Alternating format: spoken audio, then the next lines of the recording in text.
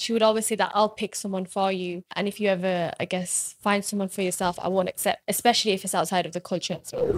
My mom will eventually agree. yeah, yeah. I'm not gonna leave someone who's really good, a good Muslim, um, to agree with my mom. It's like when your mom gives you an ultimatum, Yeah. mom or a Yeah. girl, a girl says But to you, your so- mom it's so or your or ask. me. What are we? Are we Bengalis? Are we Bengali Muslims? Are we Muslims? Do you see? I, I make them think critically and then realize, you know what? We're actually following a lot of Hindu culture. So what my mom would say is, I gave birth to you and I raised you, so you have to marry. There- there is- I choose, and if you don't, then I don't accept. The moment of Eid when we're supposed to bow down and like touch her feet, we said no. Actually, I'm not gonna do it. She got so offended. She got so angry. offended. Who got offended? My mom. And I was, I'm looking to get married, basically. And so I went and, you know what he said to me? He goes, oh, no, this is only for uh, Bengalis. I spoke to my mom. Can I marry outside my Yeah. ethnicity as long Yeah. as they're Muslim? Mom said she'd prefer a Bengali girl purely because she can't speak English. Yeah, s- speaking about emotional blackmail, speak about pressurizing, they will tell you, you get married again, you're going to be disowned. You rejected it because you're too concerned about what others will think. It's, it's good as saying Allah or the community. Community.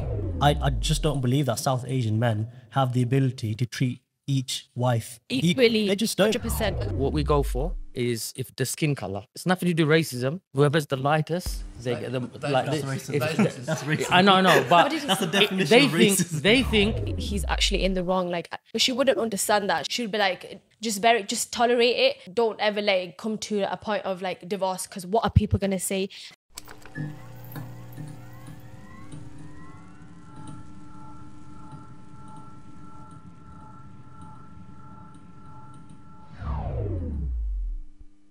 Brothers and sisters, just imagine for a second that you give £10 in donation and that £10 is used to buy food or bricks or whatever to help the people in Gaza.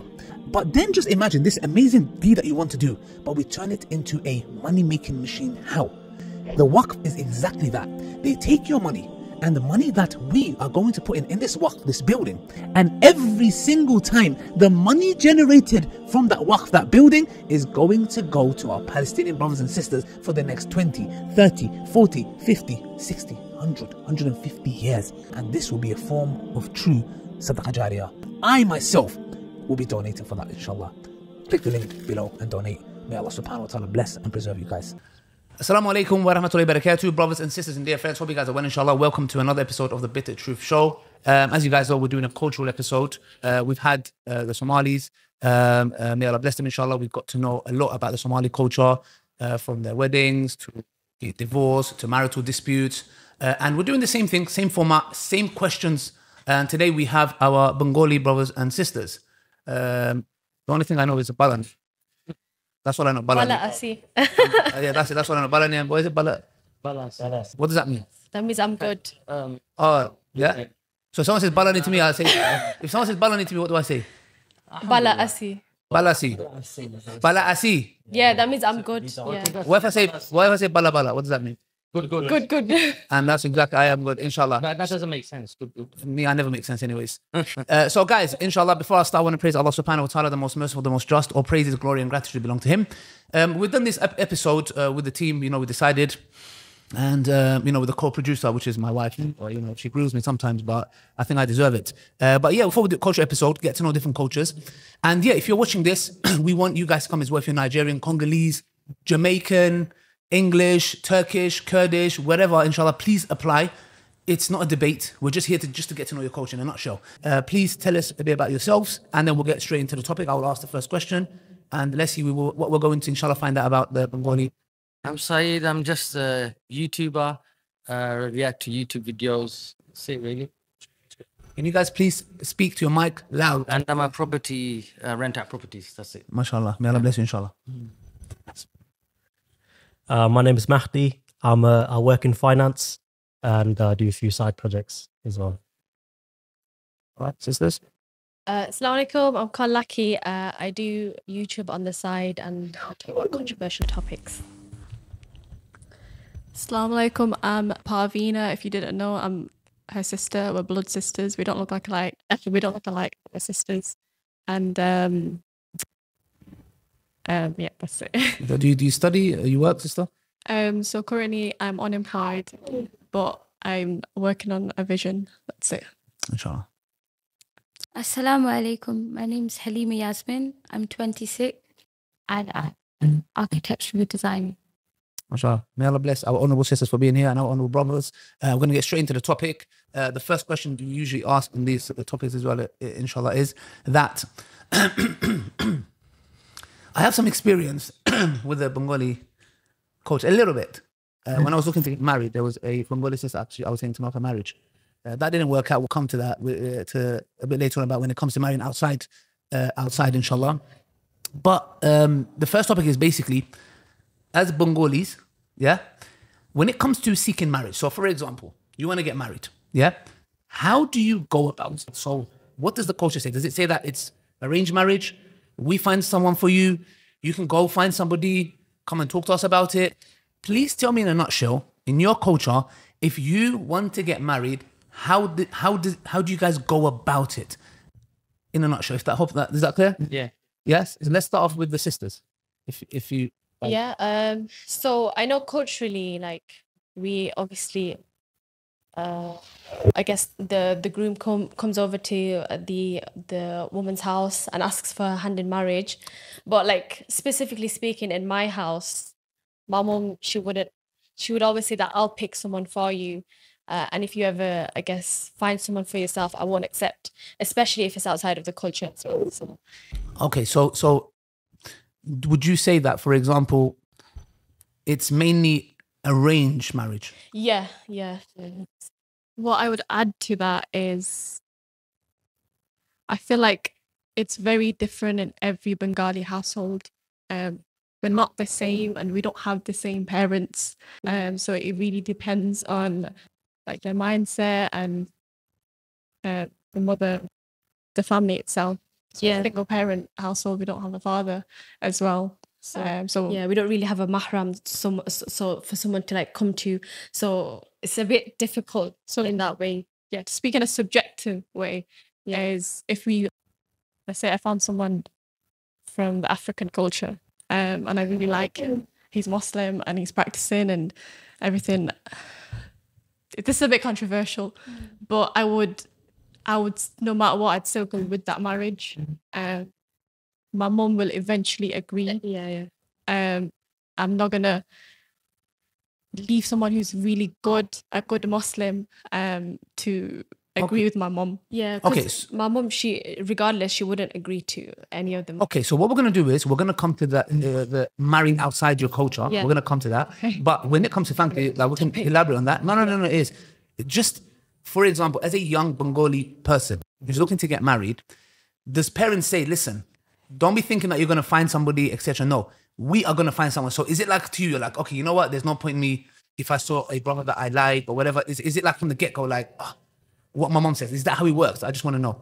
um, say something. So I think generally with like Bengali marriages, there's two approaches. There's the traditional approach and the modern approach. So the traditional approach is you tell your parents, "I'm going, I want to get married. I'm old enough now, financially secure, etc." So at that point, your parents will most likely speak to their brothers, sisters, friends um, to find someone who could match what you're looking for. But I'd, I'd say more more often than not, there's the modern approach where people go and find their like spouses themselves. So through apps, meeting friends or friends. So there's there's two different approaches basically. traditionally they say that it's usually the moment you say, you know what, I want to get married, your family uh, will tell you that we're going to look for you.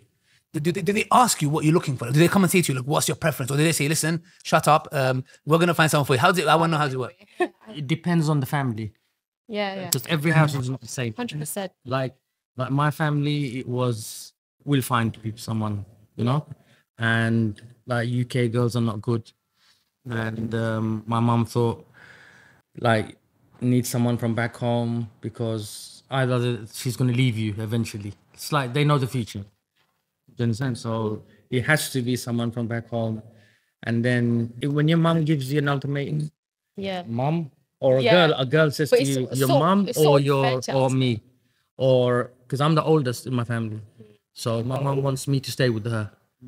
So she's so worried that she's going to be alone because my father recently died about six, seven months ago. My grandmother died. Ali, Ali knows this. She's mom's bit. Up. You know, Yeah. You know, you know what it is. Right? I'm not making excuses for Bengali parents acting mm. the way they do, but the way they were brought up, it's so toxic. They're more accepting of marriages because they don't have the benefit of choice like we do. They understand. They they had marriages out of love.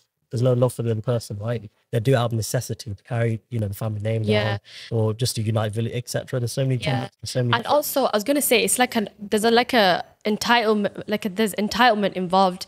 So what my mom would say is, I gave birth to you. yeah, yeah. Um. So and I raised you. So you have to marry. There- there is- I choose, and if you don't, then I don't accept. there's, there's emotional blackmailing. yeah, 100%. there's a lot of it. It's like, I, I would and then say they, they and then it, there's like a lot of victim mentality as Yeah. well. So they victimize themselves, and then you feel guilty. And, It's case by you- case, though. But you want to It's- also be because at the end of the day, when you marry someone, you're going to be living with them, not your mom yeah, yeah. and you have to see that person every day and if if you're not you're not happy with the choice you're going to be miserable and they don't understand that they just want it's also like a status thing as well It uh, is a this is very thing, very much yeah. status driven what are people going to say But our, you know, the, the the generation has to change that.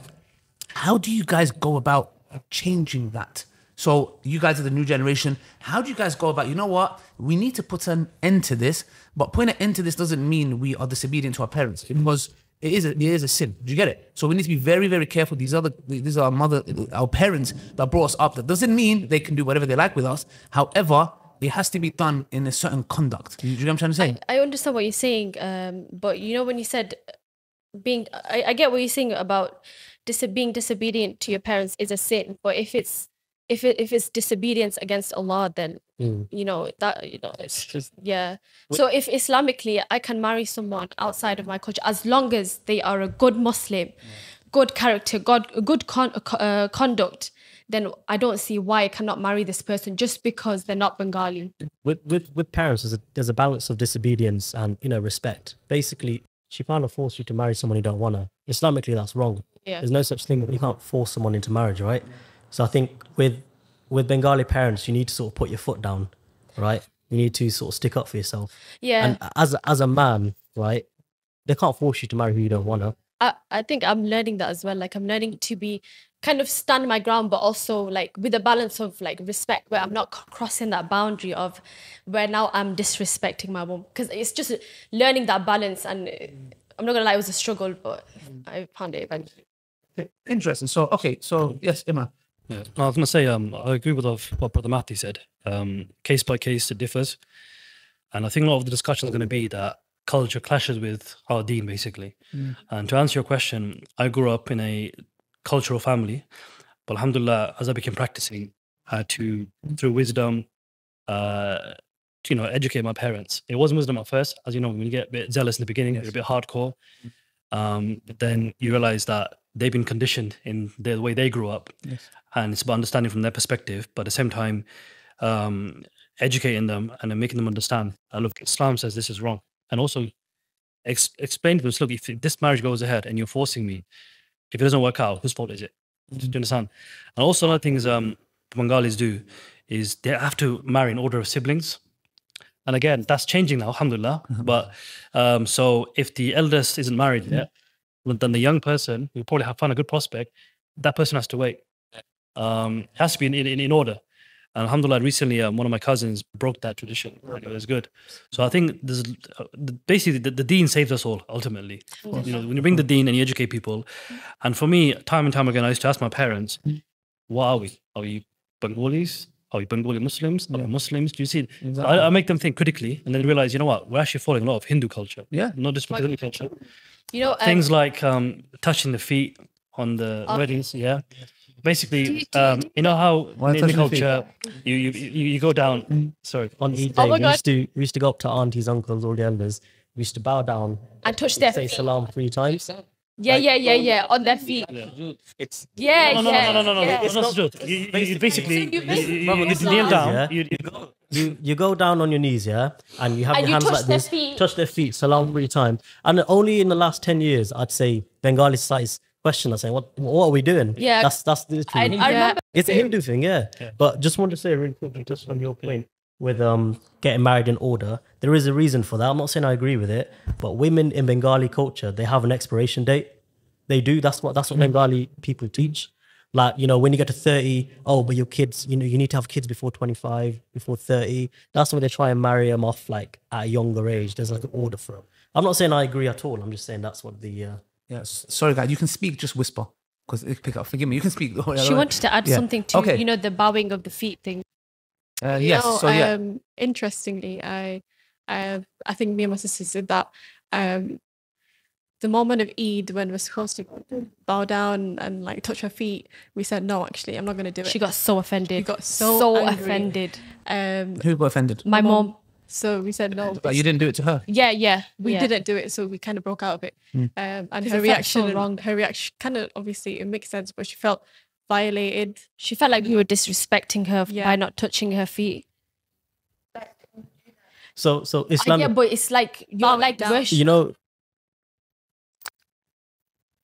you know what it is with with with that though. like we couldn't explain that to her like oh uh like we don't want to do it like we didn't know that she was Did did you explain Islamically that it's incorrect? So what brother said? Oh, okay. But Yeah, and I yeah, did, I did say that to So- my mom. I said like the Islamic perspective, Yeah, why yeah. we shouldn't But do it. that's what it is. We need to start. You know, our parents, because they're old fashioned, and cultured from Bangladesh. We need to like engage them in an educational perspective. Tell them why it's wrong. Tell them why it's right. I completely I- agree with you. Well, again, it's case by case. But for me, I can tell my parents, Alhamdulillah, I can tell them, like, mom, this is wrong. Like, you can't say this or you can't do this. She'll be like, okay, you know what? Like, I'll show her a verse of the Quran, hadiths, reliable hadiths, and she'll understand. Well, I would So say can I, can I that just have one, on one Yes. thing? Yeah, like um, this probably um crosses over different cultures. Um, but I'm talking about this this mindset, um, and I've seen it a lot where Bengalis have this mindset. Let's say um, there's you know a sister needs to get married, right? She may not be ready for marriage, like mentally, emotionally, um, all that kind of stuff. And a lot of parents have this mindset: marriage will fix her. So they basically throw in the deep end, Okay. and it's literally like sink or swim. And that again comes from the other generation. They had to sink or swim. Some of them made it, alhamdulillah, they basically empowered themselves. They was a good daughter-in-law. But what happens when they, they don't swim? They sink. The guy basically realizes, I married someone who's basically had trauma, hasn't healed, um, doesn't know the different gender roles, and then he ends up in, in, in divorce. But this mindset needs to stop where marriage will fix her. And um, uh, for example, my which is my uh, situation, but uh, the person I married was that was the first proposal. So I understand sometimes, okay, it's a good proposal, you want to get to go ahead, but then they don't think long term that this person, you can't just accept the first proposal. Like, so she didn't know, like, she's going to get married or no discussion took place. And that is another issue where there's no communication with some parents and kid children, where you sit them down and the whole thing about what you're looking for. Are you, are you, are you ready to get, to get married? It's almost like you're, you're ready to get married. They, they assume. But I think it's that mindset that needs to change where, you know, um, they're not ready for marriage, but yeah, marriage will fix them kind of thing. It's a very silly mindset. It's interesting. It's like it's like We they, they are thinking we for need to break the cycle.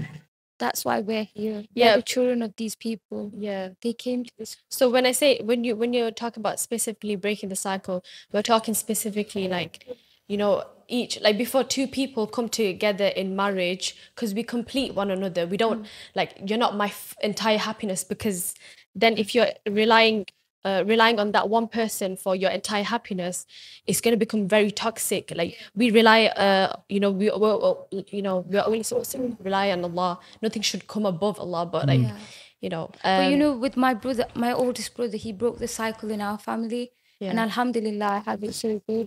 If I like someone out of my culture? I can I can get married to them easily because of my big. Because he married someone that he he was fond of in university, and Alhamdulillah, he had to break that. But I remember how, you know, I don't want to name any names, but it was a toxic environment. It was very hard for. Yeah, yeah, yeah, yeah. So let's Is it let's, eldest? let's dive in. Let's dive into that topic then. Since we're talking about getting married, let's dive into the topic of interracial marriages.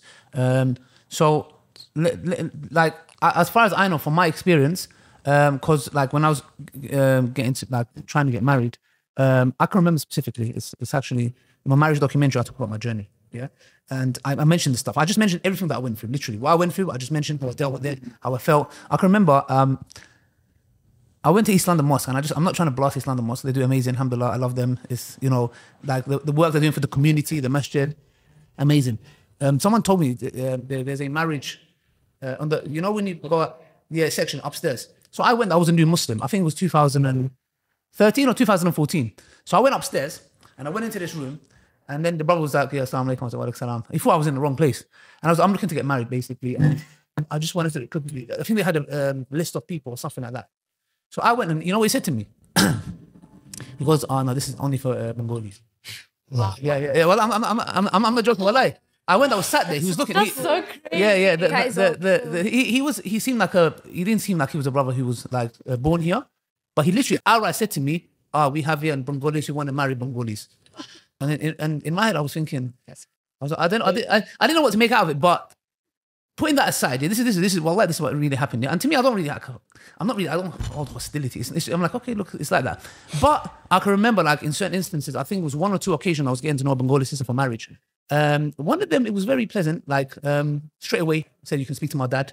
Uh, you know, it didn't work out. But one of them, there was there was this issue where like, and it's it's like, oh my gosh, you're gonna marry outside. He's not one of us. That da, Like they were so Im- immersed in what the community would think. Yeah. Are people gonna Yeah. say? Now, this me myself, like I look a little bit Asian, yeah. Okay, I think so. I look a bit Pakistani because of uh, my nose, yeah, uh, probably. So the, the, the issue here is, uh, by the, and that's there's nothing wrong with the nose, mashallah, alhamdulillah, yeah.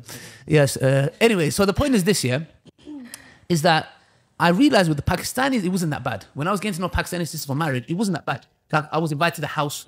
Uh, I was spoke. I spoke like the father would be in, an- uh, in another room. You know, we'll be like it was. But I found in the Bengalis that there's extreme level of like, bro, deep, and like that's my experience. So how do you guys deal with this when it comes to interracial That's marriages? interesting. I was gonna say, you know, I feel like the younger generation are like, uh, but I, I see a lot, a lot more interracial like marriages, like with Bengalis and other like races, but within the younger generation, Yeah, I yeah, see a lot, definitely. especially on social media. You see it. I think you know what it is with Very normal. So It- like, it's interesting that he said that. So I- Can I Yeah. just say something before I forget this? yeah, go ahead. Can you bring it's, closer? Yeah, it's it's the you know when he said the um Pakistani uh, the house he went out when and he was supposed to be better. There's Bengali families as well who will accept you. Of course, do you understand? It's just it's just that family. What it is in our culture, what they say is like just the other day my auntie goes, I said, look, I've um I'm going to look outside the culture as well, outside our Bengali. She goes, no, no, no, don't. I heard a lot of cases, um, uh, Bengali people marrying outside their culture and um, it breaking up. I said, Auntie, I married into my culture. Look what happened. no, but, but it's some, And she, somewhat she's true, saying, though. "Oh, I know this person. Yeah, got a lot of married to this Moroccan sister. Yeah, but- and uh, they're divorced now. This, that. So it will happen to me as well. Do you understand? But every, we all have different. But you know what it is? Different paths. It's, it's somewhat true though. It's somewhat true. Like when no no as in a sense where when you when you have two cultures. Oh, sorry. Do you want to do you want to finish what you're saying first? You go ahead. Go ahead. Gonna use the I'll let you finish first. I don't want to use mine up yet. Yeah, yeah. Do you want to finish what you're No, no, go ahead. You do. Okay. Um, I was gonna say when you have two cultures merging, it's really difficult to like maintain one, you know, both at the same level. So I think parents often think, oh, like you know, remember I told you earlier, I was like, I spoke to my mom, can I marry outside my Yeah. ethnicity as long as they're Muslim? Mom said she'd prefer a Bengali girl purely because she can't speak English. And yeah, it's yeah, yeah. easier to like God, relate connect, to someone, yeah, the- connect, yeah. everything. Do you know what I Yeah, yeah. mean? Yeah, I I don't think it comes from a racist point as much as it did before. Yeah, but there is, as you said before, there is color. If I can also say, like sometimes There's we can get of there's there's two extremes. So some people have the mindset they want to marry outside of the Bengali culture just to prove a point. That's also wrong. yeah. And I agree with what the Mahdi said, said. Basically, like even scholars say, if you can marry within your your qawm, your tribe, it's compatibility. Hmm. That's preference. But to prove a point, and I get it, it's all nice, you know, interracial marriages, but you got to think about everything, not just to prove a point. And alhamdulillah, say, within my family, I got you know people who aren't married, Pakistanis, reverts, um, but like it will change slowly. Mm. But at the same time, there's no- nothing wrong with marrying from your own kind of culture. Of course, like Yeah, to um, me. And preference. ma- marriage is about two two families. Don't forget. Yeah, that's true. You're, you're marrying into the, the two families. The thing is, preference is okay. Yeah. Like someone can say, I prefer. Yeah. The issue here is though, I, I I didn't sense preference. It was more like mm. Like this is from the deen. Like Yeah. no, you cannot. It's like it's haram. Yeah. And that is where the problem arises. And this happened. This, it wasn't just the Bengalis. Mm. It happened to be with the Somalis. It happened to be with the Eritrean. So the thing is here is that it's it's a form of I don't know if I can say racism, but this is what's wrong. Somebody can say I prefer that my daughter marries or my son marries. Can't preference is fine, but the moment you start blackmailing and the moment you start saying what's people going to say, etc. What was Allah? Have you ever thought What's Allah going to say? Like, I, see with a lot of these issues, people are more concerned about what people would say rather than what Allah would say. Yeah, and what- this leads people to, oh, people commit zina, bro. There's no excuse for it. By the way, there's no excuse. Nobody can make an excuse like, oh, my parents, there's zero excuses. Because I've been in situations where it's gone peak as a young man in this living in this country, bro. But zina is never an option. Do you get what I'm trying to say? So people shouldn't make an excuse and be like, oh yeah, I went to my parents and they said no, so um, I'm gonna go. No, no, no, no. There is no excuse. But we need to understand that at the end of the day, that preference is fine. But bro, outright racism or outright, Yeah. they're gonna think. Have you ever thought what? What are you gonna question Allah for stopping your daughter? to marry a black brother, a white brother, whatever brother it may be, as long as he's practicing, what are you going to say to Allah on day of judgment when if she ends up falling and all because of what? What's my culture going to think? And I have heard of a story. I don't know exactly where it was from, but there was a black, black brother who proposed to him. I don't know if it was Bengali or Pakistani, Indi- Asian, I don't know. And they rejected it. They rejected him because he is black. Yeah. And this is the story that's been told to me. Yeah. Is that she ended up falling. It didn't happen with him.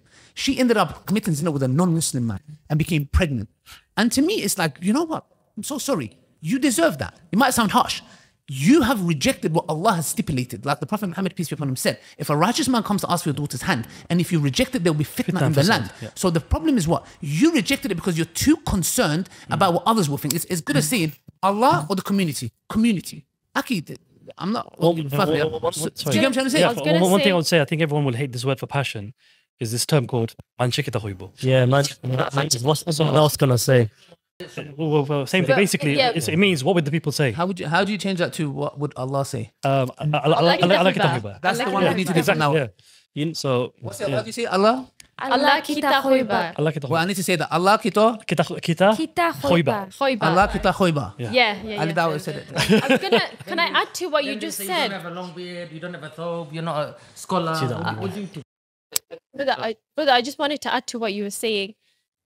What were you talking about? Uh, like uh, interracial marriages, uh, racism, what people would say. You know, I, oh, yeah, I was gonna say, you know, that's largely to do with the fact that, um, like our parents grew up in a very obviously cultural like background, but I feel like they don't know who God is. They don't know who Allah is. Because, for example, my mom, like, she reads the Quran, but she doesn't know anything. Uh, uh she doesn't know the English trans. She doesn't know the translation uh, of what Allah is basically trying to tell us in the Quran. So how, uh, it's it's going to be really hard for them to like break out of that mindset if they don't know who Allah is. Um, and they won't be conscious of Allah when they're making these decisions or when they're stopping their kids from making these decisions. But you you can break that. You need to like Hundred percent, but you know, I you feel need like to educate her. hundred percent. But you know, with you my mom, with my mom, it's a little bit different because No, she's like she's Some some people won't want to be educated. like- That's the problem. no. There's a lot of stubborn. It, it's hard though. I get what You you're know, saying. you know, I've heard of this. I says I get, I get what you're saying, but Because I, I with my it with mom, my I was gonna say with my mom, it turns into loud, like a you know. massive argument. Uh, uh, Mahdi has one and a half minute to speak without being interrupted. Yeah, Okay. uh, a whole minute and a half starting now. Now, I was just gonna say, with like with Bengali parents as well, it can be really difficult to educate them. Imagine you're telling your dad, a 56 year old man, now dad, what you're doing is wrong. He's gonna think, well, you to tell me what I'm doing, I'll be doing it my whole life. You're 20, what are you talking about? Do you know what I mean? It's so hard to educate your parents. Again, case by case basis. Alhamdulillah, my parents are easy to talk to, but I know a lot of other parents aren't, right? So it's just it's really tricky to get through to them, even if you show them evidence, you know, material from the Quran, from the Hadiths. It's very, very tricky. They're, they're so like stubborn in the head, they don't want to like understand that they're in the wrong. But what you're right, once you've broken that, then they'll start realizing, oh, maybe I've been doing it wrong. Maybe I've not been, you know, um, faithful to the Quran, for example, or, or religion. But it, it takes a lot of effort to do that. I've seen so many situations where Bengali children were kicked out of the houses, where they've been threatened physically and mentally. Do you know what I mean? So it's very, you sort of have to balance it. You don't know where you are in terms of talking to parents. I understand what you're saying. Uh, I'm done with that. So I'm gonna ask you a question. Are you Muslim? Yeah. Yeah. So you have to. You have to educate your parents, no matter if they don't want to hear it. You have to be consistent with it. So- inshallah, one day Allah Allah will open their heart and they'll realize. Hmm. You have to be consistent. At, at the point of what, what, what if there's physical abuse involved? You're still supposed to tell them after you get physically. I, I agree with what you're saying, 100%. Yeah. The physical abuse. Why? What I would say is, at the end of the day, mental health is a very important thing. Yeah. and we've got young kids in the in the house, and you, it's it's difficult for them to watch you and the the mom arguing, and that's gonna be traumatic for them. Yes. And Do that but you don't child. but but you don't know that you don't know it can heat up. And what if If it turned parent into physical stubborn. violence? Then I would I then I would stop speaking. I would be quite mindful of a child being in the room whilst I'm trying to educate my mum that doesn't know anything. You can be mindful, but what if like Maybe the it's not a child. Maybe it's just your siblings. The worst people is to a- give dawah is to your parents. You're not gonna family. try? It's the, Michael, the worst, come hardest people. In- not the worst. Sorry. It is. It is. It's the hardest. It is. It is to hard. give them But like, like I think, uh, what was it? this Sister, life is are it you Sister not Halima? gonna try? Is Yeah, name- it's uh, Halima. You know, I hear you. You know, you know what it is. It is a fi- fine line because here we don't we don't want it to turn into where we have p- kids we're watching this and be like, yeah, I can say this. You cannot. You there has to be obedience to your mum and father, but obviously not at the cost of them telling you to do something against your religion. I think you need to deal with it in a certain way. Like you need to understand. I come from a Riva family, and my dad is hostile. Like I talk about this, and I don't believe my dad is malicious. I don't believe my dad hates me. My dad just wants the best for me, and he he fears that this religion is whatever, whatever for that matter. Even with my dad, and you need to understand, yeah, you guys are talking about interracial marriages. I get attacked for praying salah. I have to tiptoe to do wudu.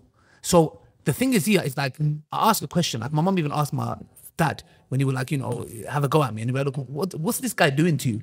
He, he just wants to pray. Like, but the, the point is this to me, I'll be like, come on, like, I'm absolutely like, what am I doing so bad to you? But the point is, you need to understand there's a way and conduct of dealing with this kind of stuff. Um, and and to me, when I was in these situations where, let's say, I was getting to know a sister for marriage, and she said my family doesn't want it, I would say, look, listen, there's two options here because at the end of the day, the families are marrying. Did you get it? I don't want to be hostile with my in-laws, so I would say, listen, try to be gentle, try to speak, and let me be honest, my dad would cuss me sometimes over like Islam, and sometimes, bro, I would go and kiss him on the head, yeah. Bro, I've never seen him so disarmed in my life. Kill him with kindness. Exactly. I've never seen my dad so takes a lot of disarmed when he would cuss me out. You know, he would he would he'd be he'd be watching uh, Bin Laden and he'd be like, "Yeah, come come, your friends here." Yeah, That- that- that's what he said to me. He's like, he's like, "Come come, look." He's like, "Your friends are on TV." Yeah. So and to me, like, I would show. I want went to him and just kissed him on the head and said, "Look." Crazy. I said, Dad, you know, like I said, I love you regardless. And I've never seen him so disarmed in my life. So there's a way of going about it. We don't want to be rebellion, rebel, uh, because at the end of the day, you need to understand it is important. Like they are our Jannah. So it's a very thin line. So I'm not trying to encourage anyone here to go on a mad one with their parents. Are like, yeah, I wish I did that bitter truth. So please, wallahi, there has to be utmost respect to parents. There has to be a way of dealing with it. And number three, for Allah, all things are possible. Yes. Yes, this is a test, and ask Allah to help you. Allah can change their heart. Yeah. So I'm saying there's a way of dealing with it, and I agree that to a certain point. But yes, if it is that you are now being blackmailed, you are being mm. threatened, you've been kicked out. This is zulm now, and even then, a certain manner. But again, there it gives no right to anybody to raise their voice to their parents.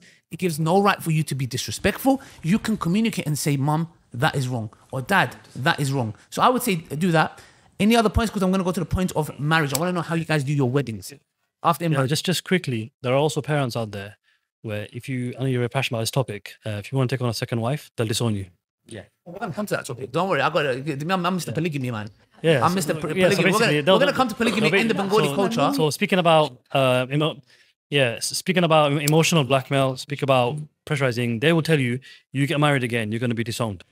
Don't, don't care, bro. As, as long as Allah owns me, bro. Wallahi, uqsam billah. Yeah. I will stand in front of Allah and say, Oh Allah, did I commit haram? No. I don't care if the entire globe disowns And I me. would, say, bro. I would say this is what one, Yeah. one, one scholar said as well. Yeah, is even like a topic like this when you speak to your parents, maybe best not engage with them because they because of you as a means, they might state a of kufr. They might say something like, "Oh, I don't agree with it." So don't even entertain a conversation with your parents. Because like Ali Radiallahu anhu said, don't tell the people what they're not ready to hear. Yeah. You want them to disbelieve in Allah and His Messenger. So we have to be careful. But this issue of like, since you've opened the issue of polygamy, yeah, the the guys, I didn't open it, he opened it, yeah. I'm just here entertaining it. Um, i- i- how do you guys, how do Bengali culture deal with polygamy? So you're saying basically for you guys, it's outright, yeah, innit? We, we know, we know, we know for the sisters, it's yeah, but Yeah. um, I, I don't know anybody in my family that's been in that situation. I, I think And it's what's it- frowned upon because like um like uh my I guess my dad he got like a second wife but the problem is he even though he got a second wife back home he neglected his first wife Yeah. and his Yeah, kids and that was the the and I I understand why my mom would get resentment out of that why she would view like um like having multiple wives as a like a negative thing because you you got another wife but you neglected me Yeah. and my kids. I, th- I think um, in, in our culture. in this culture, in this country, sorry, it's not. I don't know anyone, any uncles or anything that have married like multiple women. But in Bangladesh, They- I'd say you see it around every now and then. But it's not maybe like you know high, but it's still more common than it is here. And it's probably secret second wife. It is, yeah, it secret usually is. third or fourth, you know. But I was gonna say, you know, you know, with like getting a second or third wife, I, I just don't believe that South Asian men have the ability to treat each wife equal. Equally, They just don't. 100%. They just That's because because Why- I'll why do you tell you why. Because I think men will. We go a lot of looks, right? We go a lot of looks. So if we have if we have two women, and we see one's prettier than the other, one's doing something better than the other, we're gonna value that woman over the other one. I just think South uh, Asian men they, They just don't have don't the have. mindset for it. But Islam, Islam gives a stipulation though, because at the end there's a hadith of the Prophet Muhammad sallallahu alaihi wasallam. He said that if a man has two wives and he inclines one towards the other, he will come under their judgment, his body leaning on one side. Uh, and to do dhulm on someone, oppression, it's it's a big, it's it's it's, going to be accounted for. Uh, so men have to be very, they need to understand. Jokes aside, is that to oppress like. You, th- just going to a different topic, I don't want to go personal like with, your, with your father, is that if, if this was to happen, there's going to be accountability because at the end of the day, you know, you have to give the rights. You know, that's the reason why, if you think about it, I always say this polygamy was sent down to protect your rights. Because as men, we are prone to polygamy, and men usually do it by side chicks, mistresses, and girlfriends. So Islam allowed polygamy. So when it is going to be done, it's not done in the at the cost of the second and third wife being used and abused. So Islam sends these protocols to say, if you're gonna do it, you have to do it the right way. You speak to the father, you get married, you do a walima, you look after her, you provide for her. So when a man looks at the, he's looking at this and thinking, I have to do all of that. I've changed my mind. Do you see how it protects you? And do you get what I'm trying to say? So if you look at polygamy, even though women hate it, it's actually sent down to protect you guys because you know you guys are hypergamous by nature. And I'll be honest with you, I've seen this phenomena where a lot of women will be like, if they're the first wife, over their dead body you get a second wife. By the way, I'm not against. No, no, no, not that I'm saying you are. Not that I'm saying you are. But when they don't mind being a second wife, I, I've seen this, bro. It's it's you see it like you know. Wait, sorry, can you clarify the hadith you mentioned? If your heart is inclined towards one, you won't be sinful. It's a bit equality. If you're not equal, Yeah, yes, yes. No, yeah. it's it's, it's but yes. yeah, but if Is your heart just- is inclined to one wife than the other, then you won't, you won't be held accountable. Because Of course, you can never, because Allah says in the Quran, you can never be just. Exactly. Exactly. Talk about justice. Look, it can, like, we're talking about looking, it might be in his heart that he has a specific liking to the other one. You, you don't need to tell the other one about that. It's between you and her. You get it? But to mistreat and favor and, oh, th- th- this is no hikmah, brother. Oh, my first wife done this. Or, this is this is ridiculous. Like you need to understand a woman's emotions, have some emotional intelligence. Uh, that's very But key as well. you know, uh, you know, but brother Ali Dawah, I've seen you speak a lot about polygamy, and there's nothing wrong with it. I see a lot of wisdom and hikmah behind it. But the thing is, the type of like, there's a lot of men out there who are not equipped. No, I'm not even talking financially. I'm talking mentally. Mentally, emotionally. Like they're emotionally, especially emotionally, Emotional they don't intelligence, yeah. understand how um how a woman's emotion works. Like if a woman is getting emotional and you're getting upset at her, Yeah, rather yeah. than trying to understand her, trying to calm the situation. You know the saying, if one person is fire, the other person needs to be Calm, water. yeah. But you're bec- you're you're like doubling up on the fire. yeah. Then like most, I feel like most of them like don't understand that. So if a woman is getting emotional, they'll they'll get you know they'll get emotional. This is well. this, what you said here is haq, sister. It's, it's very, it's so fundamental. It, it reminds me when a woman came and at the time Umar ibn Khattab, and Umar ibn Khattab was saying, you know, why are the women asking for high mahar? And Umar and the woman came and said, basically, no, this Allah has given us the haq. And Umar ibn Khattab said, the woman is right and um, I am wrong. And I'm saying the same thing here, sister. You're right. Uh, and if I've, I don't think I've said that, but in this uh, matter, I'll be wrong if I've if I've said that. You're very true because at the end of the day, we as men, we have, if we're leaders, we cannot be emotional like you. We need to understand you, and a lot of men are not equipped with this knowledge. You get it? Oh, why are you getting upset? Oh, she's gonna get, she's gonna get upset. The best of the woman, Aisha the Anha, smashed the plate. Just imagine, bro, you're chilling with your boys. Yeah, your wife comes and smashes the plate in front of everyone. Bro, your ego will be so hurt. The Prophet he didn't even get angry. You know what he said? He said, Your mother got upset and smiled. Which man can do that, bro? So you need to be equipped with that. Uh, but if you if there is a man like that, in, in like if he's married to a Bengali, if there is a man like that, are you willing to accept that? Because a lot of sisters come and say, "Oh, if he's like this," but believe me, when that man comes along, they're still not happy. Like what? Sorry. Like the way you said, he's got emotional intelligence, financially can provide. I- I'll be okay with it. Like if you Are you sure, sister? Because because we will not be we will not be Men like that right now. because you know some people contact me. Some let people- me let yeah, yeah, me go say like sister, yeah. I you know it's something that I never really agreed with because I, I never understood it because I uh, like every time someone would mention it I had f- have this feeling in me like a like like I don't like that feeling uh but then I I guess one day Allah gave me the wisdom and I deeply thought about it and I thought about how Allah created the men and how Allah created the women, how men, uh, you know, they're able to impregnate women like multiple times, you know, throughout the year, whereas a woman can only get pregnant once a year. You know, the biology and everything. And, and I and then I understood like this is and then Allah saying like like women are actually a fitna like not a fitna like a struggle what do you, what do you call it? Yeah, Like it's a fitna for men, yeah. they're, they're, Yeah. the Yes, biggest weakness. One of the biggest. and Allah like Allah is saying that like that your biggest weakness is women regardless of whether you're married or not. So I really thought about that and I contemplated on it. I was like so if Allah is telling me that then and I don't I don't know because I don't we think so differently. Like as a man you think differently I think so differently. Uh, so I understood that and I thought there's hikmah behind it is and this this is probably most likely an actual need like for men to uh to be married to to more than one wife. You know there's a lot of men also who are uh, okay with like having one wife but there's uh, i would say Uh, well, Majority wouldn't say- I man, majority man. I challenge, I challenge any man to come here and tell me that they're not. Any- any Majority man would Actually, actually, actually, actually, okay, okay, we've got to challenge it. You know, you know things like Yeah, that. I, you know, I so- personally, I can't do, I can't do with more than one wife. I, I, do you know what I mean? If I get married once, I'm not. even- Exceptions don't make the my brother, my brother Mahdi. ali stop trying to convince brother him Mahdi.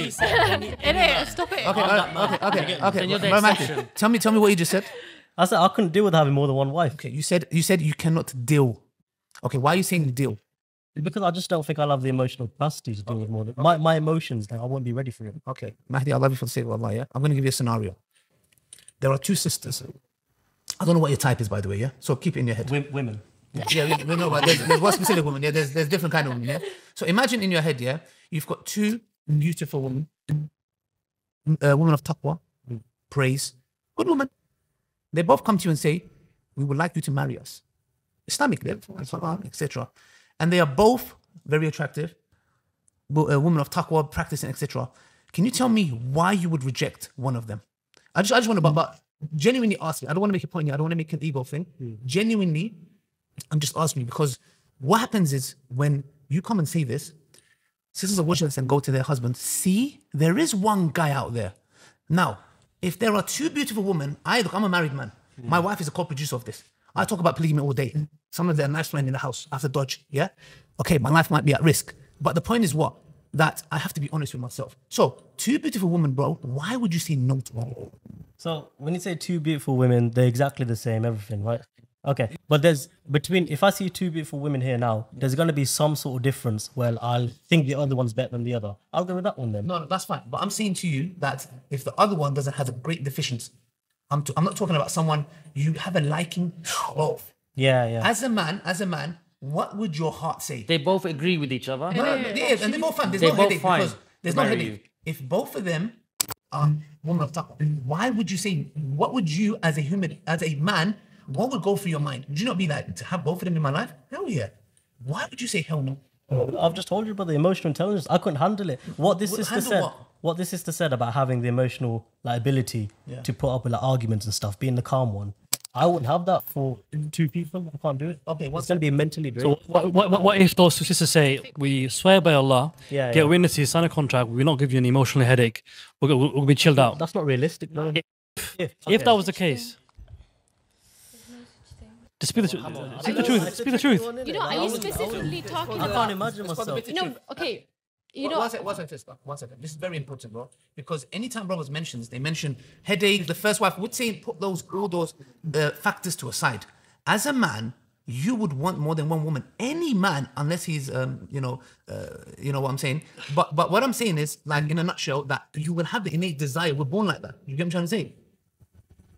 that innate desire, right? So I know you're for like um so marrying multiple women. I- I know Islam Islam says that as well. But what I'm saying is like I think I haven't done a lot of research on this, but I think is more appropriate at the time of when there was war, when the Sahaba. Uh, right now, I don't. I don't think. I don't You're not getting the point, brother. South Asian men. No, but that's what I'm saying. Let me get to the South point. Asian man. I'm talking to men. It's a specific Yeah. scenario. No, but I am a South Asian Yeah, man. yeah, yeah, yeah. No, no, no. I, I understand. what I'm saying. But I don't. But we can't generalize all of them. Hmm. What I'm saying is though, no man would say no. Put the headache to the side. In no man in his right mind would say no to two beautiful women. Like, why would I say no to two beautiful women? And I'm born and I have the inclin- uh, the propensity to be polygamous, and they have the propensity where they're hypergamous nature. You're a handsome brother, yeah, mashallah. So I'm saying, bro, no, no, no. Let's be honest, yeah. It's and the women, they don't mind sharing. I'll be honest with you. And unless there's factors to it. So why would you say no to two? No headaches involved.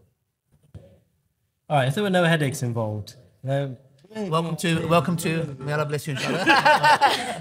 okay, the point the point I'm just saying is this yeah. We are hardwired and and it's the headache factor because a lot of brothers say, Oh, if my first wife didn't give headache. So you would, but what puts you off is the first wife. That's But listen, listen to listen to what you just said. Yeah, it's about it's about the emotional intelligence. That's what men are lacking. I- I believe in polygamy. I think it's a beautiful thing, and I think if you can treat each wife the same, You can't. Allah says in the Quran, you can and you But can you never ha- be just if you can. try to Try, right. try, you have to try to. So if you can try to, Alhamdulillah, we'll have a better generation. A I- better I was gonna- I- society. I'm just But curious. It's the We're gonna it's move the on from this lacking of emotional intelligence. in Yes, a man. quickly, sister, because I don't want to make it a Okay, I, I, was, I was gonna say, I'm just curious. You know, uh, uh, you know the polygamy thing. You're saying every man is driven uh, to want more than one Yeah, woman. propensity. Okay, I get that. Um, is, what are they driven by? Are they driven by intim- the idea of intimacy? It can, it can, it can, it can be intimacy. What is in, in, it? in, in Islam, I'm you, just curious. I, okay, I, designed I okay. to It's, it's, it's, it's like this. It's- to me. look in Islam, yeah. Look, at the end of the day, like you said, there's many factors to this. Yeah, there are more women than men. Yeah, uh, more men are in prison, more men die. So there's so many factors. There's hikmah Yeah. behind it as well. And not only that, though, for a man, he could he could be married, and this is where we don't understand. For you guys, the moment you fall out fall out of love with your husband, you do not want to stay with him and want to divorce and move on. Yeah, Yeah. we don't think like you. yeah. For us, it's like this. I love my wife. We love our wives. We have no problem. And I've said this before. If they put me in a lie detector test and they said to me, Do you love your wife? I'll say yes. They'll say pass. Would you die for her? Yes. Pass. Do you want a second wife? Yes. Pass. This is where you guys don't understand us because No, for I- I us, get I, that. d- I because you think with that. you, you guys think I get that. no no okay, you I would stay. I would stay with my husband even if I fall out. But okay you good both Masha, but that's that's a sacrifice yeah that's what I've been taught by my ancestors.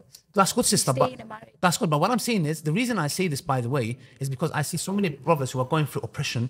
They don't see their kids. They've been oppressed. They've been accused of all sorts because their honorable husband has gone and do it the right way. That's why I'm so obsessed about polygamy.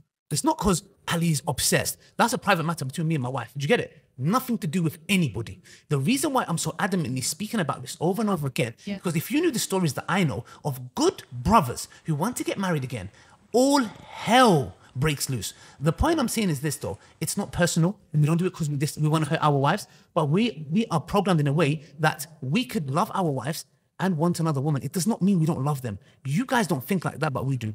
Anyways, we can we need to move on because I don't want to make a political, Yeah, just- discussion. Can you guys tell me a bit about the Bengali wedding? So, for example, how does it work? I know you guys own this Ferrari, Bentleys, and all kind of stuff going Yeah. around. Can you tell me? was gonna Is this a part of the Bengali culture? Uh, but the thing is, how do your weddings go? How many weddings do you have? Henna night. Uh, imagine. So, can you guys run me through? Two people have met. just say something. Two two people have met. Yeah. Um, and how does it initiated? Who comes to whose house? Yeah, before before we get to that, you can start that off. Yeah. I want to take you a little bit back. Uh, I know Bengali culture. There's one thing we missed out. What it is, uh, what we go for is if the skin color. It's not. It's nothing to do with racism. Whoever's the lightest, they get the like. That's the- racist. if- That's racist. I know, I know, but That's the definition they of think racism. they think they think it's not racism.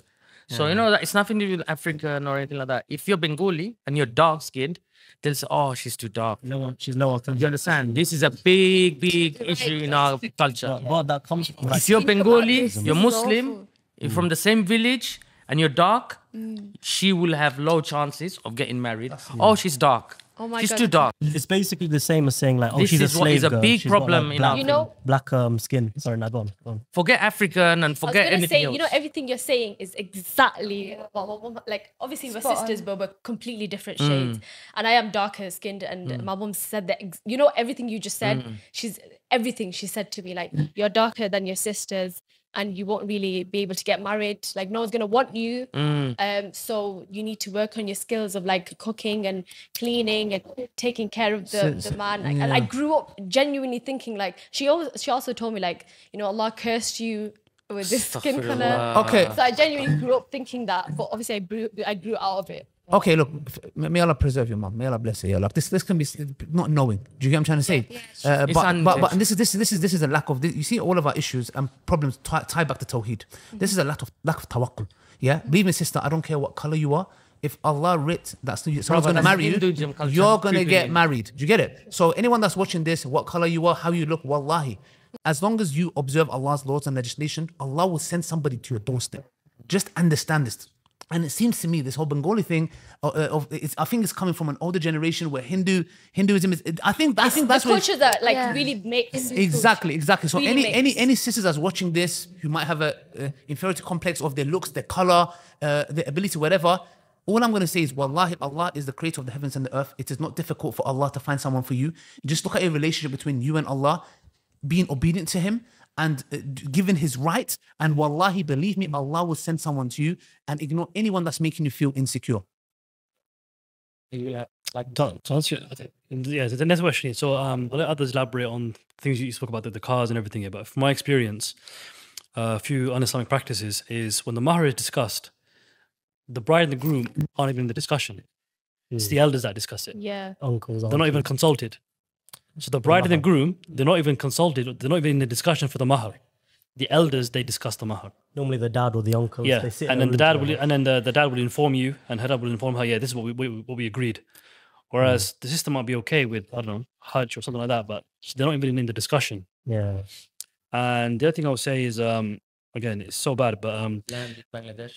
that as well. But after the mahar thing, like if you have potential sister-in-laws, brother-in-laws, you're meant to joke with them. Oh my days. That Yeah, yeah, so it's infuriates me, bro. thick, like- That Yeah. So, infuriates but, but again, it's as in it's emphasized. It's, it's yeah, basically This- encouraged. This, is, like this is your sorry, yeah, like this is your like sister-in-law, like so she'll banter with him, blah blah. blah. Basically, it's just outright flirting. it's proper flirting. Um, so they take his like shoe, yeah. this and that. They're like, I've seen, I've seen stuff on their shoe and run away with it. They'll chase them down, brother. I've seen Phony stuff red- Who- who's taking whose shoe like So the, there's the, on the, the- the the sisters and wedding- stuff. the- the- the the, laws. you take the groom shoe. His potential sister-in-law, so his, poten- his his potential wife sister, they'll have next level banter and that, that kind of behavior. Take his shoe. Bro, I've, Yeah, yeah. And I've he has to give on- money for the shoe. I've seen stuff on like, TikTok, yeah, where they're physically like wrestling and stuff. Mental. So crazy. Is it, is it like, like for in our culture that, for example, when you go into the bride's house, somebody locks the door and you need to give money to open the door? Is it like that? Yeah, yeah, yeah, yeah, yeah. That- this one as is a shoe. As well. It's, it's sometimes it's and, worse. and innit? I would 'Cause, say, as, like, I, as I grew up, I came across a hadith that the, your in-laws are death. Really? said your brother-in-law Yeah. is like death. Exactly. Yeah. Well, I've heard so, So- many stories of like Bengalis like um getting with their like brother-in-law, sister-in-law, this and that. It's mental. It's, it's actually crazy. Exactly. That's because of the free You know, and you know how that starts as well. I've got people that I know, friends and stuff that have done this. They're falling in love with like other, uh, the other side of the family and stuff because there's flirting stuff going on, messaging each other, all this TikTok, uh, like social media and stuff. Because what they want to do is they want to record themselves like flirting and stuff and making jokes, put on social media, bangs views. That's it. I'd say it's encouraged. To, That is crazy, man. Look, it just shows us how much co- Islam and culture. And, and, and I did see this strongly. Like I'm the like look look. There's look. We're not saying every single Bengali here, etc. You get it? There's like, but yeah, like it's it's it's saddening. And inshallah, you guys can change this. Let's hope and this generation slowly changes this. Can you tell me about the wedding? I want to know about the the the proposal, the first time of proposal. Can you guys please run me from? I want to know from A to B because we're running out of time. Please Yeah, I don't me. I don't know fully about this, but all I know is um, the fish ceremony. Oh my god, do you want to I'll- explain I'll- it? I'll So go- basically, that I'll go- that one that one. Let's, that's we can the get to. I'll go. A to B real quick if you want. yeah, go ahead. So basically, what it is is like, let's say you've set, settled on a spouse, right? You found someone you want to marry. You inform the parents. They'll have like a phone call, and they'll have something called a dekha dekhi, which means a meet sort of thing, where they speak about like mahar, pri- like everything, like when the wedding is, how much gold to give. Then you go with like something called an engagement party a few months down the line next year. Um, is it? Yeah, Cinefan. Sorry, yeah, Cinefan, and um, and then Cinefan is engagement party. That's what it is. There's like four different parties you do. It's, it's mad. Then you do a nikah. This is a few days before the marriage. You're leaving something. Islamic out, bro. nikah, You're leaving something out. and then well. you do the. Yeah, go on. You know what you're leaving out? You the the, Mendy the negotiations. That's that's at the difference. Do you know the negotiations? You ne- literally negotiate the money, land, That's what you're gonna give. that's much when they gonna see each other. That's uh, the yeah. Mercedes, You know- this, that. We're gonna spend this much minimum in the wedding. The hall has to be this big. The f- food has to be uh, five course. Hmm. So that's when both families this, meet. that. Basically, they do the. Uh, Uh, if, if you're stuff. not, marriage can break. You know, hmm. and also one thing. They'll bankrupt. You can bankrupt yourself. You know, it's actually statistically true, right? The higher mahar for a woman is. That's. I think you said this actually. Studies Yeah. that show that the more you spend on a on a wedding, this is this is by non-Muslims, by the way. Hmm. When Allah and His Messenger say it, nobody believes it. Hmm. When a kafir non-Muslim guy comes and says, "We've done a study," they go, "Oh, it's, you see, it's unbelievable, bro. The insult that we give to Allah is unbelievable. Colonial mindset, brother. You know the brainwashing that so we so have. so so okay so then what do, what do you guys do in the wedding like how many dresses does a woman have to wear what does the guy have to wear please tell me a bit more detail I want to know more Subhanallah, amount of money You we guys can take spend. this one. Um. So, so um, there's like obviously the wedding, the hen, the henna, and It's the Mendy first. the Mehndi first. Mendi party. I, I, I'm You know not, I'm not gonna lie to you. I have Yeah, no it's- idea it because basically, a you know, is when like- I got yeah, married, I just got married in the mosque. Uh, I'm, I'm not married anymore, but Hmm. when I got married, I got married in the mosque, and I just did a simple nikah. So I don't. Best. I'm not familiar with like all the. okay so tell us, tell us. Go ahead. We first start off with negotiations, how much is going to be spent, and then it's sinifan, which is the engagement, and then after that we have the mendi, which is like a hen party. Hindu stuff. It's like a It is like proper Hindu Hindu, tradition. bro. Where you they wear hen, you apply henna on the No, but bride. do you guys throw rice is that from the is that Yeah, there is stuff like that. There is stuff like yeah, that. yeah, I yeah. think we do the holy, the what's it called holy ringers, the little dust and all that stuff. Uh, like a, uh, you know, them platters of Yeah, rice and yeah, then just throw like- it up in it. Yeah, yeah, I've seen that. That's a very We Hindu love our thing. rice. I've seen, We love, I've we love seen- our Bro, rice. I've we seen don't that in henna rice before. We didn't do that in our temple. I haven't seen that, but a lot of Hindu stuff goes on. Yeah, and you will be shocked. Just like what tell us My father stopped going to weddings. My father So- so literally uh, upset so many family members Hmm. because he couldn't tolerate it no more. He said, "I can't tolerate this. There's no se- uh, segregation. There's no um, it, it- nothing to do with Islam." So at, at weddings they'll do like um, musical instruments, like uh, Bollywood music, stuff like that. They do like dances and stuff. The groom and bride will sometimes dance together as well. I've seen that on TikTok. That's crazy. It's crazy, isn't it? Um, so it's proper like Indian. But I have seen a lot of like Bengalis doing just a nikah now in a mosque. Um, you know, it's just easier, isn't it, and financially affordable. So there's like two ways of going about it, essentially. But you know what? Bengali weddings, I looked at the average, is 55, 60k on average for a Bengali. That's not including mahar or gold prices, by the way. Bruv, if I marry if I marry and I spend 60 grand yeah I'm never divorcing that woman in my life Yeah, but she'll divorce you, bro. ever That's the bro. statistic. no no no but that's that's the, but that's interesting because the thing is if the mahar is that much yeah this is what Islam deals because Islam protects you number one this is Wallah Islam is so beautiful Allah, alhamdulillah for mm. Islam Wallah the best thing that ever happened in my life is Islam just think about it yeah if a man has ill intentions the fact that he has to speak to the father and give mahar is something that protects you guys yeah because you, if he has ill intentions so and if the woman has ill intentions she's a gold digger it also protects me because if she initiates khula she has to give me back the mahar or part of the mahar so you see how Islam protects both sides Yeah, yeah, yeah. Wallah alhamdulillah for Islam but okay Gonna, I was gonna mention uh, one thing you guys forgot. You know, um, I've seen this a lot. I've never done it. My mom's always mentioned it. Like she saved up a lot of money just in case, for for that reason. But um, it's uh, the the fact that the bride's side gives like mahar to the the, the man's like side. you mean the they buy the furniture. Yeah, yeah, I yeah. never So, understood. so basically, that is purely obviously cultural. It's Islamic. Yeah, yeah. women. Like Yeah. I, Yeah, so so this is it happens at my cousins' weddings everywhere. So what they do is like the agreement at the negotiations are like this is how much you pay, this is how much you pay for the bride's dress, etc. Right, and then they'll give like gifts, like they'll pay for the suit for the wedding, Yeah. etc. Small stuff like that, which Islamically it's not encouraged. It's not even said to do that, is it? yeah, yeah, Um. This is in Hindu tradition. Yeah. Yeah. Exactly. yeah. But they're buying like But furnitures with- and everything. With with they'll buy like cars and stuff sometimes. But with with For the wedding groom. for the groom, Yeah. they My exchange dad bought prices. a Yeah. car for my sister's husband. Oh, that's mad. yeah. You know, you know. Uh, don't get any idea.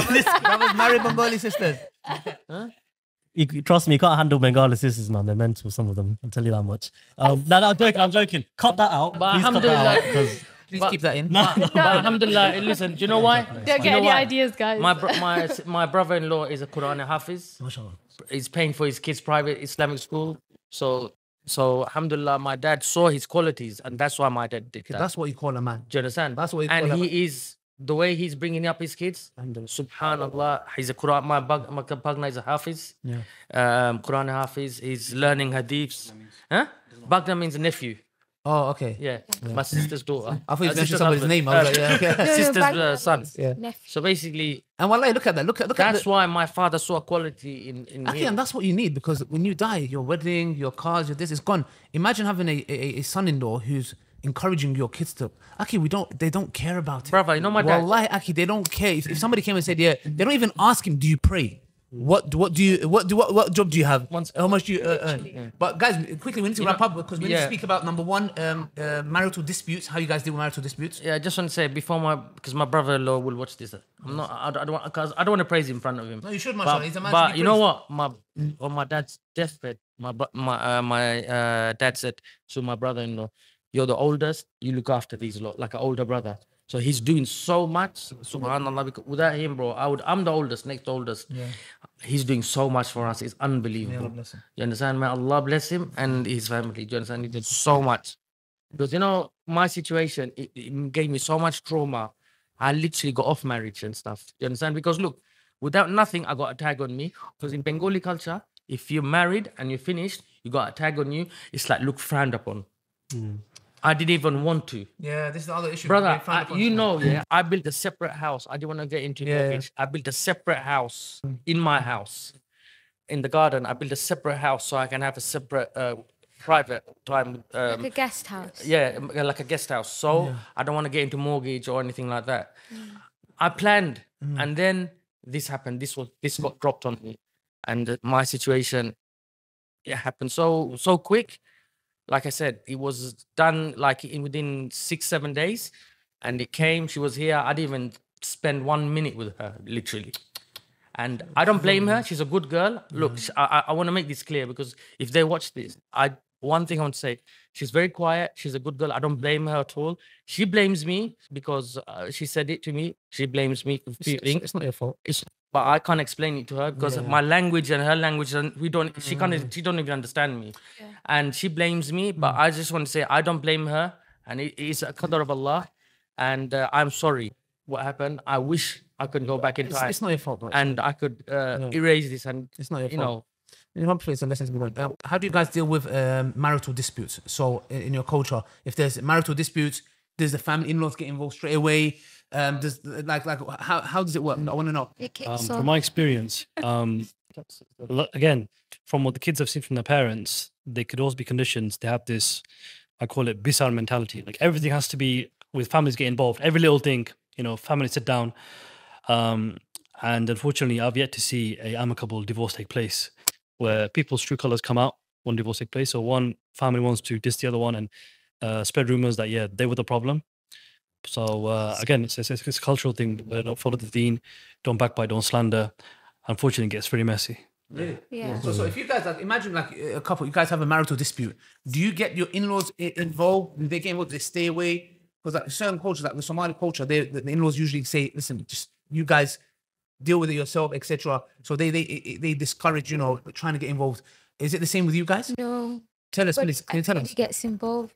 Like the parents will get hmm. involved, the siblings will get involved. It, That's it. Yeah, And it, it Not does, the siblings, outside families get into, involved as well. it depends on case by case basis. Usually with, with Bengali Bengali culture, depends how bad the dispute is, right? If it's a divorce dis- dispute, it usually goes to the parents or the elders of the community. Hmm. So like Village get involved basically. yeah, Yeah. basically every a lot of people get involved. And the problem with that is like it's always one sided. Hmm. If you know, let's say I get married, right, and we, I want to divorce my wife. If I tell my parents it, we have like a little intervention, right? It's gonna be one sided for me, isn't it? Do you know what I mean? Saying, oh, she's in the wrong, this and that. It's never amicable. This brother's right. I've never seen a Bengali divorce happen like in okay manner. It's good. always been like. I'd say the I was women. literally gonna say like Yeah, go so um uh when when I was married uh uh my in-laws weren't involved because my ex-husband was basically an orphan it was just my mum and if I but if I would ever come to her and tell her like we're having this dispute she would always blame me. She'd say like what are you doing? Like are you cooking for him? Are you cleaning? Are you like making sure that he's okay? I'm like no like i- i- he's actually in the wrong like but she wouldn't understand that. She she would be like just bear it just bear it just tolerate it uh, and don't ever let it come to a point of like divorce because what are people going to say? And but then i'm telling but i'm miserable i'm depressed in this marriage. I don't i don't want to be in this because he's he's not giving me my rights. She's like "Do- it doesn't matter it doesn't matter you've made your choice because i kind of i married outside of my culture. She it was like a it was really difficult. But um, she was like, you you basically chose to marry outside of your culture. You made that decision, so you're gonna have to put up with it. Because if you get a divorce, um, people, people are, you know, people. What are people gonna say? Basically, yeah, basically. Um, so it's it's really difficult. Yeah, also, but mom would always, always blame me, like yeah. you're not doing. There's this mindset where once you're married, him like sorry, slave, once you're married, you're for life, basically, and there's kids involved like you're almost like forced to stay in that marriage, how, however toxic it is. And sometimes the, the elder generation don't understand that it's actually more toxic for the children to witness a toxic relationship. Yeah, So once kids involved, it's like no, you got to stay in this marriage for the sake of the kids. Mm. You know, There is like we, we had Robert Gabriel Romani here. We talked about this as well. It is good to a certain extent that divorce is not something that is accepted that easily. It is good because in today's time, divorce happening for the most ridiculous reasons, bro. Crazy. So it's good that you have it, but I think it's toxic. With, with, with, with it's it becomes toxic because yes, it should be discouraged. You're not getting but it is allowed in Islam. We have the other extreme where it's like, yeah, khalas, and you have a little dispute, yeah, divorce. People, So, so yeah, people nowadays though, like South Asians, they'll get divorced over the littlest things. You're right. There's two extremes where like you know there could be physical abuse abuse involved, but the other side like oh like he's not giving me what I want or she's not giving me what I want. Oh, divorce. That's it. I'm getting something better. The problem in this generation is we have too much options. There's so much options. That's why divorce is so frequent. Do you know what I mean? That's, if I can the also say, I've yet to see again when I say divorce take place properly, like the proper procedure. There's a reason why Allah's given us three divorce, right? yes. Hmm. So one talaq, have separation, time to hmm. think, give it three, four months, and then more often than not, they both realize that they, mi- they miss each other, right? Getting didn't get married again, but go through the full process. Say you've given your best shot. Usually after the first divorce, halas, that's it, it's, it's over. The guy moves on, but then he realizes he's got feelings for the, for his ex, so on and so forth. Everything's rushed. Nothing's like taking time. I'll, sorry about that. I'll say one thing as well. I don't think I've come across. It's very rare for me to see like the old generation of Bengalis being happily married. Like it's that's how bad it is. Like from my personal experience, might be different, but like generally, the mother and like father, they're not actually in love with each other. Yeah. yeah yeah yeah Like it's actually when you think about it, it's crazy, right? Um, This is trauma for But they, they- they yeah, we see that. We think, trauma okay, is a marriage like supposed we to think be this like is an example is Is this it the supposed to- example of like, marriage was supposed I'm not gonna to say be? who, like, but like friends and stuff like I've seen, like you know, their parents just don't love each other. They care for each other. They do the necessities, but got um, a choice. yeah, yeah, no, exactly. But, but what I'm saying is like the old generation, the divorce rates are lower. It's because they tolerate each other. Whereas the younger generation, they know at the same time they might think they know their worth, so they need to divorce. Do you know what I mean? It's it's tricky because there's a the thing is, I do admire that, like to an extent where it's like they are very like. The thing is that we have this attitude that, like, yes, love should be there. Like, nobody should oppress the other, but it's, it's it's not just about that. There's also mercy. Allah talks about rahmah and rahmah, you know, to one another. You know, you need to understand if the love diminishes, where's the rahmah? So the thing is, uh, there's an ayah in the Quran. Allah talks about this. So it's not. We have this Disneyland Hollywood thing where like it has, has to be. It doesn't. That's not the reality. And we teach us rea- think that this is a reality. Now, this doesn't mean you are harsh to your wife, etc. But it might be a point where you've married for 15, 20 years. Of course, you're going to come and just, you know, every time, yeah, I love you, etc. It's it, it it it doesn't happen. It should happen, but that shouldn't be a reason of divorce. Uh, and we live at a time. uh, I call it the Amazon Prime Flex, which is I order from Amazon. It comes. I don't like it. I send it back. And we carry this attitude to our friends, our uh, uh, family relationships, even our spouses. I don't like something. I send you back. But I was gonna say, uh, uh, I generally, I feel like, um, I don't know. Maybe I'm speaking from like a biased point of view.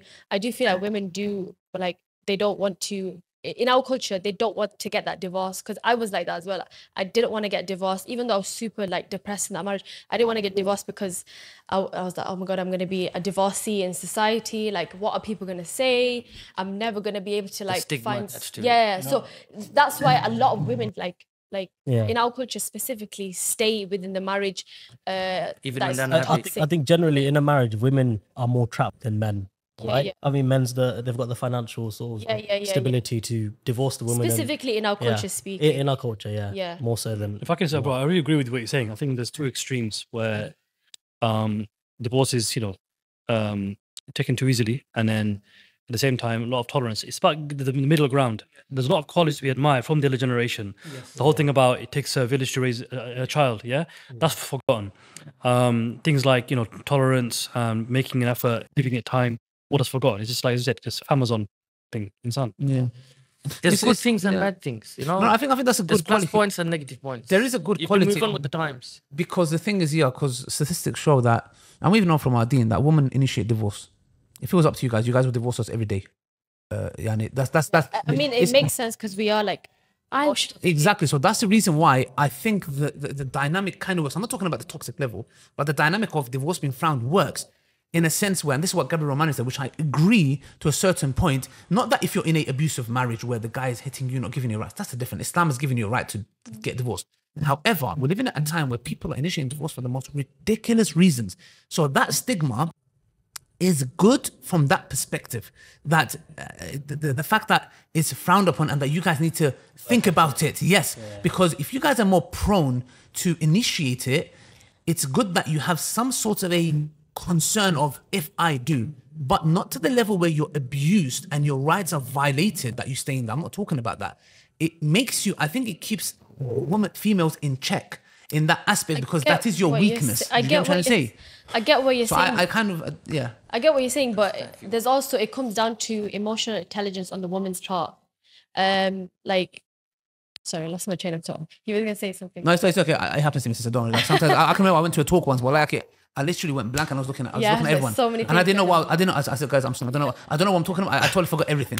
so it happens. But one thing, one thing that I'll, uh, uh, I'll recommend everybody here as well, do your adhkar. Do your morning and evening adhkar. I'm telling you, yeah, because I never used to do it, and uh, shaitan attacks in different ways. Yeah. So if you remember, let us know, sister, inshallah. And it's totally normal. Trust me, it happened. It happened to Mike. Remember Mike? Yeah, Mike was here. So it happened. So it's, it's totally normal. Quickly say it. Right now, because we're gonna we're gonna end in about a couple of minutes. We've got to. Uh, basically what I want to say is my mom. when I know what she did for me. I know she had all the good intentions in the world. Yeah. She did not do this to like hurt me or anything like that. I know that. She did it for my benefit. I don't blame her uh, like that at all. Um, I know she blames me uh, because for ending it, but I know inside my mom did this for me. She thought it would be. She thought she knew what is best for me, not not I. What, what I know what is best for I. She didn't. I don't know why she didn't let me choose. Do you understand? Hmm. She she said you had, you had enough time, so that's it. It's like I had an hmm. expiration date. Hmm. You're getting old. Uh, when no one's gonna accept you. You're the oldest in the family and things like that. So basically, I know I'm going back a little bit because I because look, if my mom sees this, I want her to know clearly. I know she did this for my benefit, know. And I don't blame. I her. know, I know, I don't blame her, and uh, yeah, you know this. I know, but I know how much you love your mom. Trust Yeah. me, auntie. Yeah, Trust- he's been in the house. He knows my mom, my dad. He's been to my dad's janaza. He knows everything. So he knows anyway. Yeah. Okay, guys, we need to wrap up uh, because we was going to talk about the divorce. We talked about divorce, how it's initiated, um, and uh, t- just in a nutshell, um, when it comes to divorce, you guys just what two families talk and khalas, yani, what do they, is there anything that we're missing in the culture that they implement? Because they were talking about, oh, you have to give us this land or that land. Is that, is that what happens in divorces? So, so, you, so you can't get divorced until you give some kind of money or land. Why is this, a bank, bruv? La, la, la. It's always say, money. I would say specifically with divorces, the land has to be split. That's not common, is it? So let's say if I marry a wife, marry someone, right? And um, let's say uh, some land has been passed down from my dad to me. When I'm divorcing um, that person, I don't have to give her land, right? What's the Bengali approach? I don't I think don't you'd think have to. I don't think I don't you- think you'd okay. have to give it, but she will ask for it. Right, I see. Yeah. Would you say that's a, This is a, a a common- common issue? this Is that a common issue? I- I- Oh, right, like okay. a I've, family- I've never experienced it. Family member of mine has actually experienced that. Yeah. Okay, I think any last uh, words? We need to wrap up. Uh, just quickly, like you know, all these like discussions of relationships, divorce and stuff. No one speaks about the ultimate goal, Jannah. So, and it's just like you know, my rights, his rights. Yes. This life is short, man. Like mm-hmm. you know, have a bit of tolerance, get through it. Unless, as you said, it's a really bad abusive relationship. Fine, you know, get people involved and, and go your separate ways. But no one speaks about the ultimate goal, and because the lack of mm-hmm. that, Yes. it's like get, get up and leave. Like, Like yeah, that's that's the thing, bro. Like the Prophet said, nations will come together, and why? Because Allah will take the fear out of the enemies from their heart and put the, the love of the dunya, and that's what it is, bro. How many people are driven of Jannah? We're gonna, we want to enter Jannah.